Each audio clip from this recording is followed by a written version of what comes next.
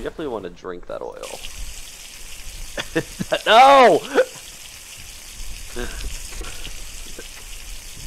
Your health is declining rapidly.